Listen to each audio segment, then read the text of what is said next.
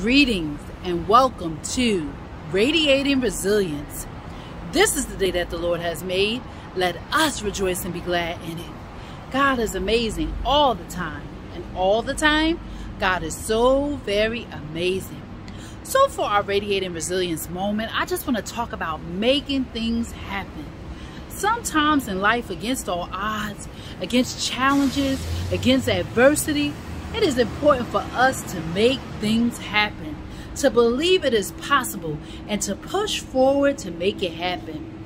You know, it is awesome when you work towards something and it comes to pass and you see it in its fruition and you're able to receive the blessings of it because you know what? It is important in life to have faith because faith is believing in what you cannot see.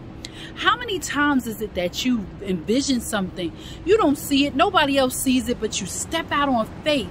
And then as you step out on faith, yes, you have to work hard. You have to keep at it, steady, steady, steady. But when it comes to fruition, oh, what a reward. What a blessing of having faith.